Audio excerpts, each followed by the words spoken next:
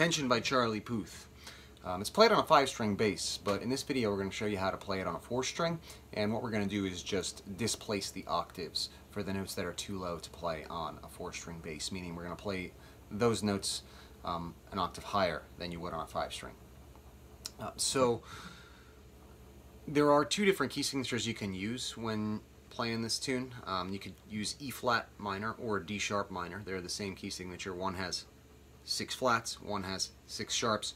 Um, we're going to use the one with six flats in this video. To play it, you start by going to E flat. That's the sixth fret on your third string, the A string. And uh, this note lasts for a dotted eighth note length, which um, in 4-4 time or common time, which this song is in, um, that means that it's going to last for three-fourths of the beat.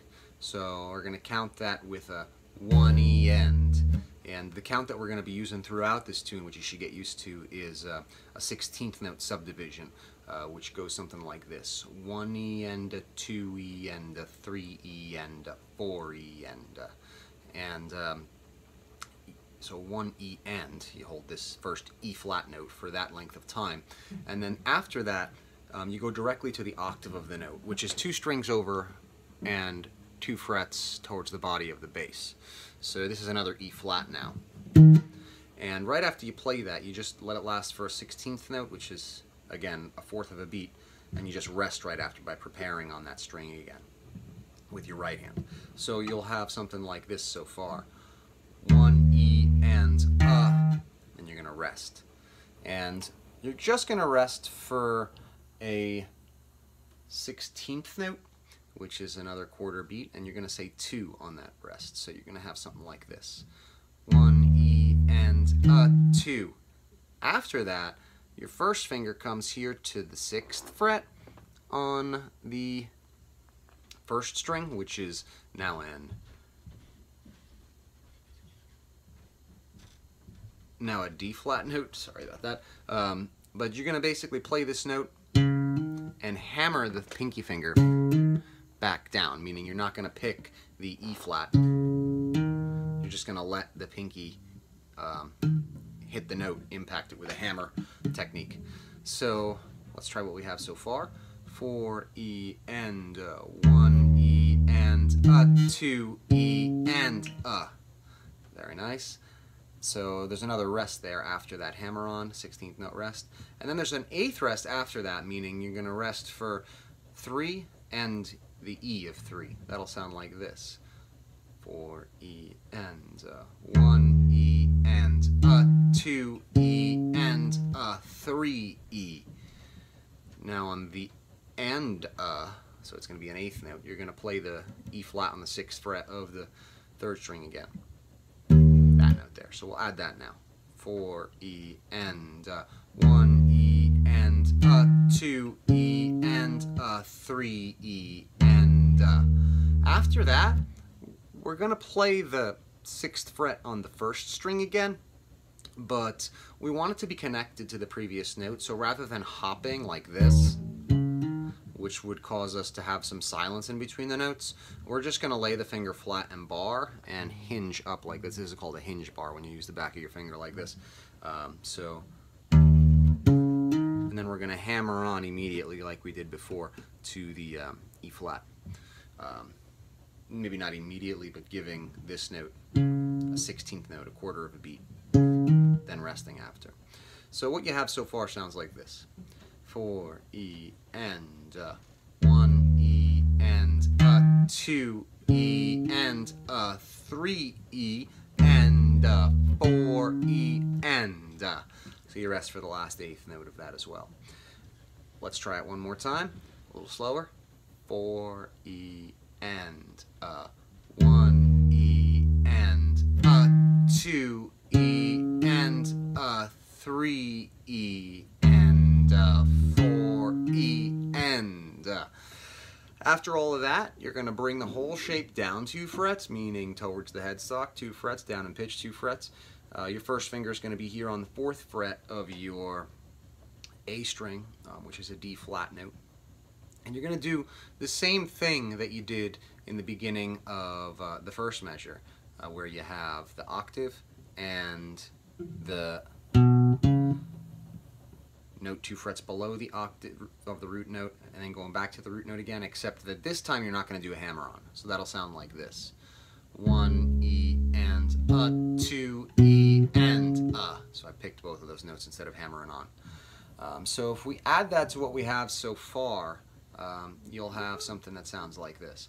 Four, E, and a. One, E, and a. Two, E, and a. Three, E, and a. Four, E, and a.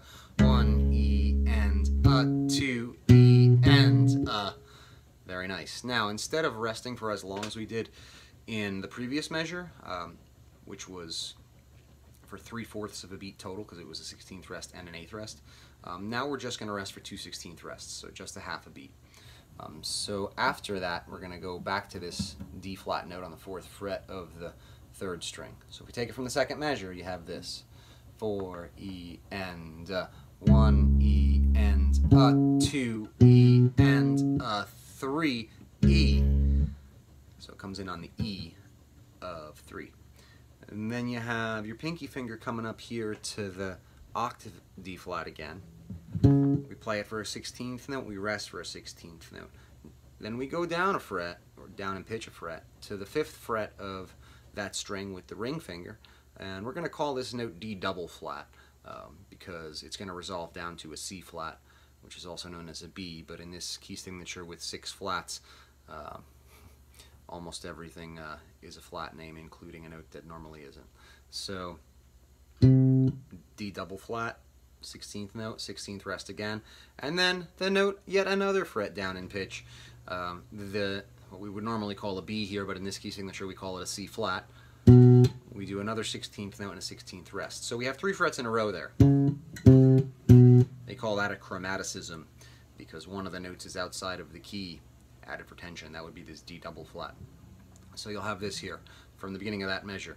4 E and uh, 1 E a 2 E and a 3 E and a 4 E and a. So if we add that to what we have in the previous measure, you should have something that sounds like this. 4 E and uh, one E and a two E and a three E and a four E and a one E and a two E and a three E and a four E and a. Nice job. Let's try it a little slower. four E and a one E and a two E and a three E and a four E and a one E and a two three E and a four E and a Nice job. So just to give you an idea of what this sounds like in context of the song, I'll play it closer to the actual tempo. 1 E and 2 E and 3 E and 4 E and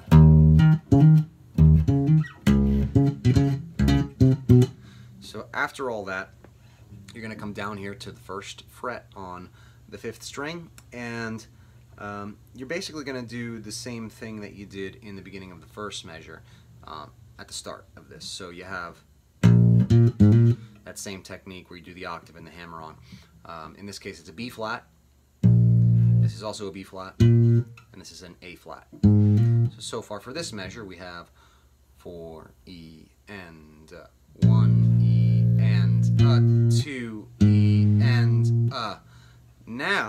something special happens.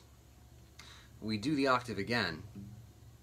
We do the first note as an eighth note, and the next note as a 16th note, and then there's a 16th rest, meaning you'll have something like this. 3 E and uh. You'll rest now and you're going to switch to another shape for the next beat.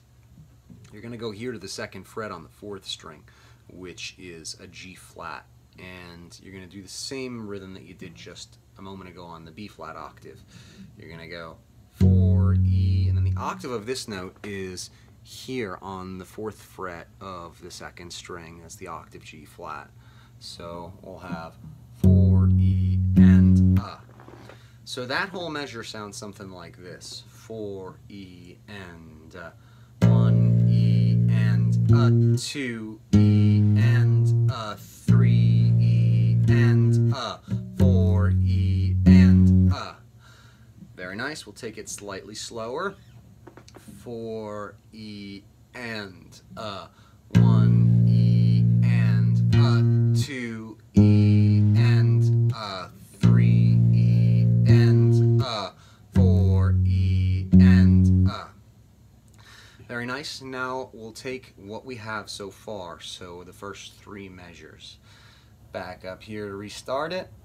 4, E, and uh, 1, E, and uh, 2, E, and uh, 3, E, and uh, 4, E, and uh, 1, E, and uh, 2, E, and uh, 3,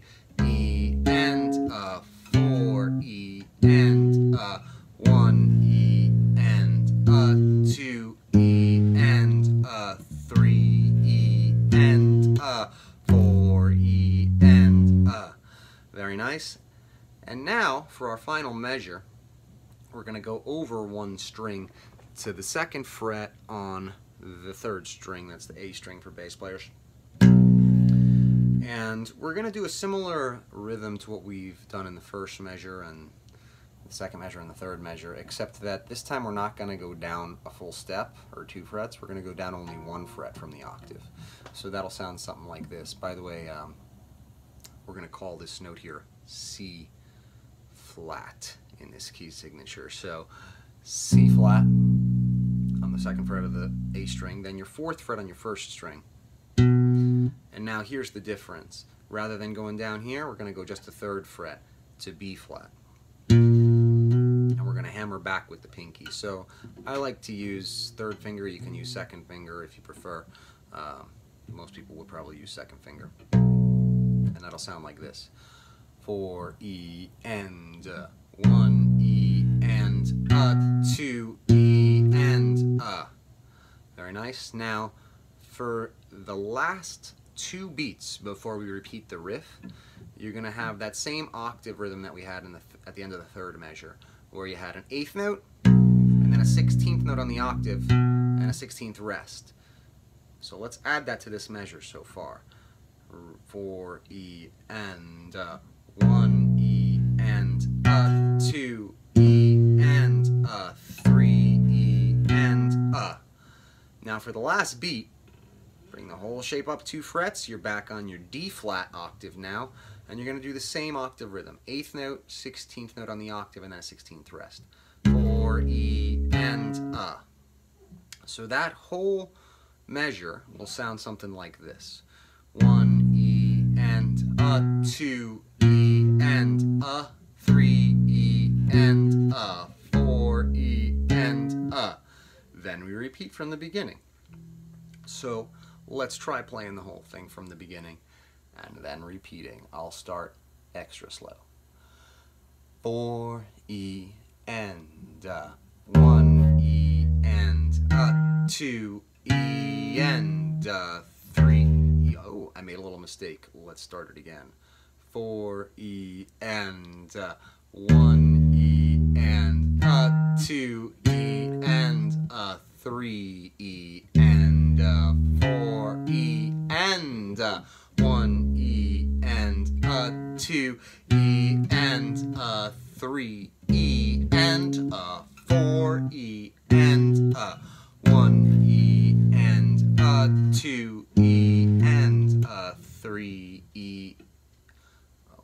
there on that 3. We got to get that root note for that octave on that 3. Let's start it one last time. 4 E and uh, 1 E and uh, 2 E and uh, 3 E and uh, four E and uh, one E and uh, two E and uh, three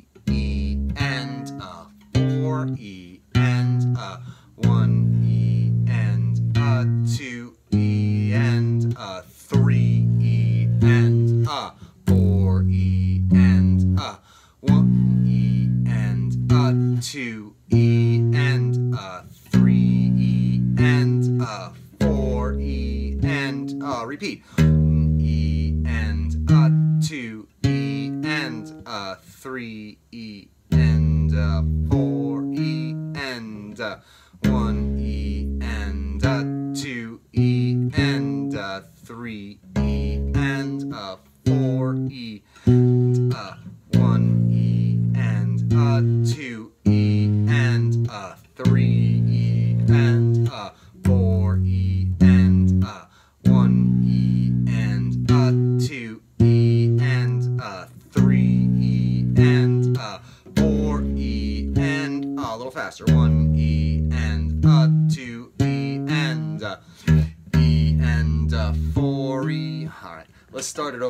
time. A little faster this time.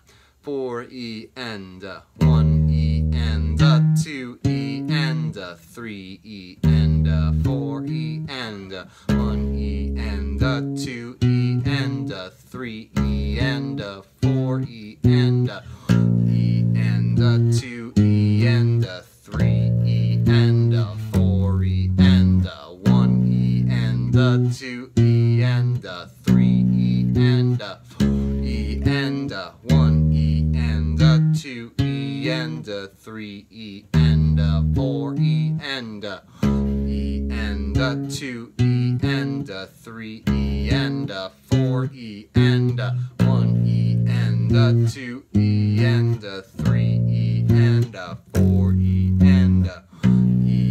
and uh, two E and uh, three E and uh, four E and uh, one E and uh, two E and uh, three E and uh, four E and uh, E and uh, two E and uh, three E and uh, four E and uh, one E and uh, two E and uh, three E and okay so as you can see um, it does take some practice to get this riff down and especially to do the counting but um, what we're going to do now is play along with it and I'm not going to count this time. I'm just going to gradually increase tempo every time so that you can try to play along. So here we go. One two three E and four E and one E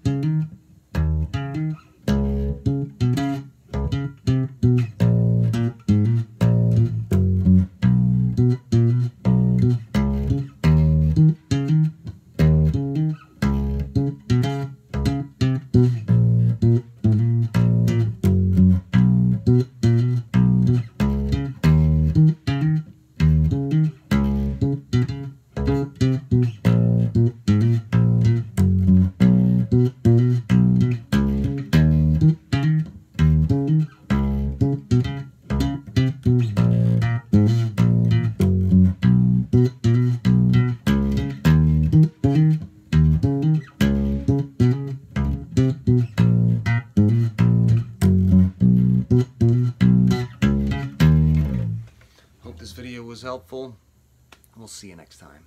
Thanks for watching.